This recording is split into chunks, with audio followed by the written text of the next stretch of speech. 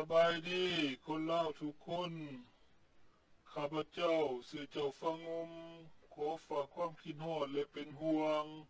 มาถึงคนเล่าทุกๆคน จะอยู่ฝั่งซ้ายและฝั่งขวา จะเป็นเล่านอกหรือเล่าใน ขอให้ห่วมใจกันเป็นหนึ่ง เข้ามาสร้างสาพัฒนา เมืองเล่าของเฮาให้เจริญหุ่งเฮือง ด้วยความเคารพและนับถือ คนเล่าทุกๆคน ขอบใจ